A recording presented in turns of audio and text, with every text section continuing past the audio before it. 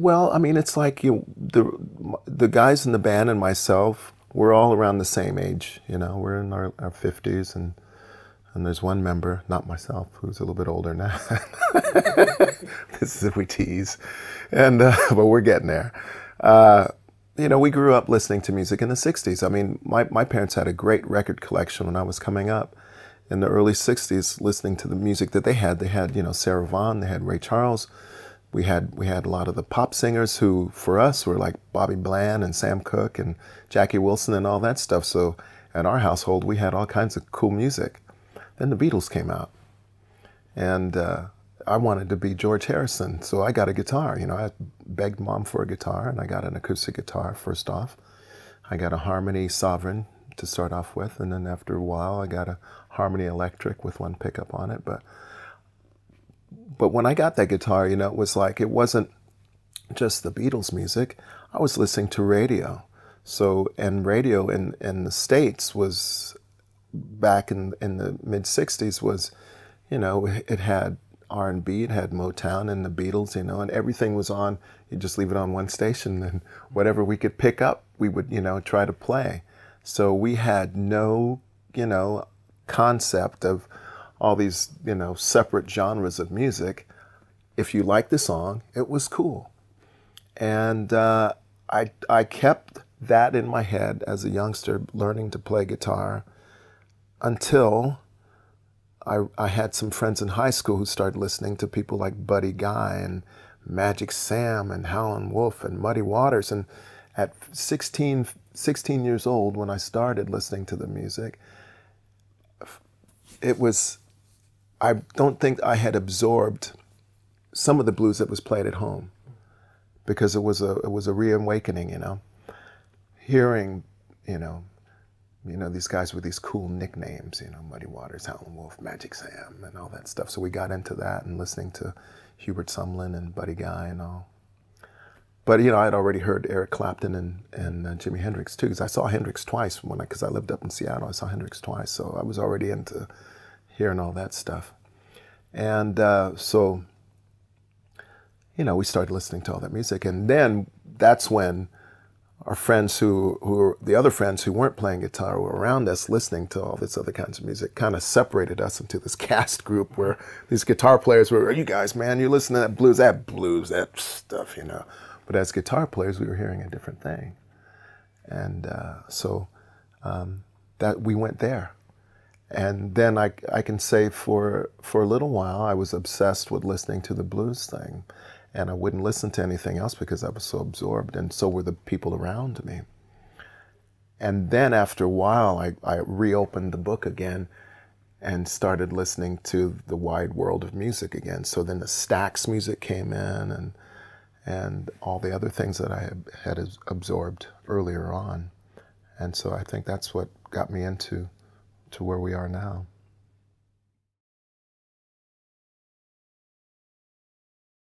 Well, for, first of all, the thing that I enjoyed about working with Kevin was I had the band get off of my shoulder. it was great because I, I wasn't producing. And uh, the thing about our band is uh, our drummer, Tony Braunagel, is a producer. Jim Pugh, our keyboard player, is a producer. and Richard's produced in the past before. So actually, when I was doing producing, everybody was producing, and there was too many, you know, too many cooks. so when Kevin came in, Kevin took over, and it was great because Kevin had it was great because we had never worked with Kevin. I had met Kevin in a couple, you know, a couple, few different uh, uh, meetings before going into the studio, and um, and and and found out how he likes to work. And he said, "I like to work really fast. Don't like to dwell on anything for a long period of time. Otherwise, we'll go to something else." That's the way I've always enjoyed doing it. We got into the studio, started working with Kevin, and go, this guy's on the on the ball. He knows his stuff. And uh, we went to work, and you know, Kevin, you know, would say, you know, let's try this again. We, you know, we, you know, do a you know stronger take or something like that. And how had all these rhythmic ideas. It was great, you know, and and moved and motivated us, and and uh, moved quick. I mean, we went into the studio and we were we were out in two weeks. the thing that was great about going into the studio also is we had done a 12 day run as the band. Got home on a Sunday. Monday, we went straight into rehearsals. Nobody had heard any of the material that we were going to record. We all presented our material. We spent a week rehearsing, finished on a Saturday. Sunday, we moved the gear into the studio. Monday, we started recording. Bam, boom, boom. Just like that. You know, I've pretty much done the same things. Have, I've always had the amp in its little locker room, you know. One thing that I did have fun doing when we recorded uh, the album this time, which was our last, before this new one, uh, studio recording, we did the song Chicken in the Kitchen. And, uh, you know, you have a, a close up mic on the amp, and then you have one a little bit far away. That's what we, we all normally did. We listened to the playback and said, What the hell? That sound is fantastic. Oh, the close up mic wasn't on. and it was getting more of the room sound. And so when that solo starts out, I mean, it, it was like, and I can't remember, I think I was playing through a, um, a super reverb on that one. And the sound was like just kicking, and I and I was and, and I'd forgotten this time to maybe try that effect again. But I liked the the distant sound, depending on the room size the amp was in, for something. But other than that, it's the same thing. I mean, you know, we record together as a group. All, all, always we play live together, and then you know, then I might go and and um, either add a rhythm track or a solo track. Sometimes I play the solo while we're cutting live. I did that on a couple of these.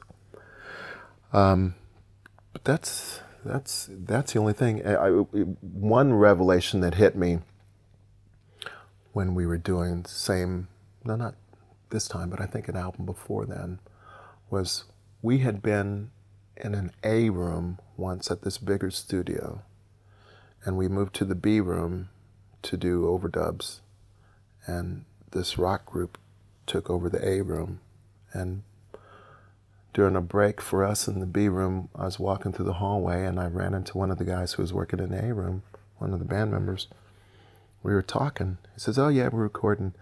I said, Oh, I hear the drums in there through the wall. He says, Well, how? He, he said, The drummer's in there doing his tracks. I go, What do you mean? Don't you play together? He said, No, no, no. We, we do everything separately. And that threw me that some record individually. I've never done that. Never tried it. No, I don't see how that works. When you, how can you lock into a groove when you're not all playing together? That that's weird. the the main guitar I play is is a is a Sunburst Strat like this. This isn't the particular one I used in the studio, but it's it's like this. It's the same setup. It's the from the custom shop that we you know we um, put together. I think it came out because I started working with Fender in like 89. I was contacted by a, a, guy who used to work there by the name of John Grunder. And uh, we went through, we went and we modeled it after two strats that I own. One is a 58 Sunburst. That's the one that's on the cover of Strong Persuader. That, that's a 58, but that had a maple neck. And then I had a 64 Strat that had a rosewood neck, and so we worked to try to get the right radius that you know between the two of them, and, and we worked on that, and uh, then some you know uh, pickups that are, are wound uh, from through the custom shop as well. And then after that, you know, um, just the rest is cosmetic basically. What's the first thing you play when you pick up a guitar? The first thing I play, I don't know. I just pick it up just to feel it, you know. And and and uh, you know, it's, I always it's hard for me not to play without vibrato. I'm just so used to doing that. So I just you know just that's what I do. And I think more. I kind of like you know, kind of reminds me like the old seasoned singer with that has vibrato and it's kind of over exaggerated, you know, like. That I think that's how my playing is going these days because I find myself playing the vibrato and bending the strings like an old person singing. And almost to the point sometimes I think of almost pulling it out of out of tune. and I catch myself on occasion doing that. About your right hand? Are you, are you always pick and fingers? You ever just play with fingers? Or? I um I don't just play with fingers on, on, on their own, but if, if you're looking for like a more warmer sound, yeah, then you know I'll tuck the pick under and just and do that. Or sometimes you know pull.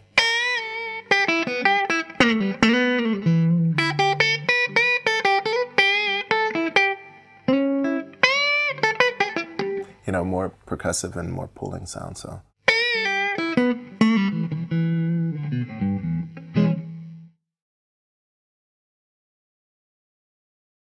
most of the time for rhythm, I'll be here. A little bit brighter sound is here. But I prefer playing more, more the rhythms here. And then the fourth position for most of my solos. Although, you know, certain songs I'll, I'll play in this position for the solo. Then, you know, when you go up high. And that's that's probably it. I don't care so much for this middle position. I don't see any point in it. I use an 11 for my E string, and then I go to a 13, then an 18 playing, and a 36, 46, no, 36, no, 38, 36, 46,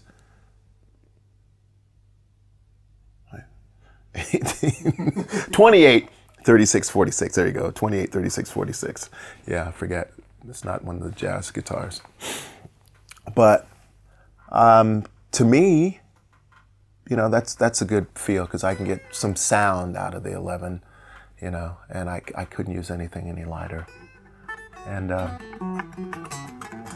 I guess you would say my action is high because I need to get under the strings, you know, uh, when I'm when I'm pulling. So anything lower than what this action is, and it's you know, it's I, I, guess compared to somebody who might be playing on a Les Paul, this is high action, you know.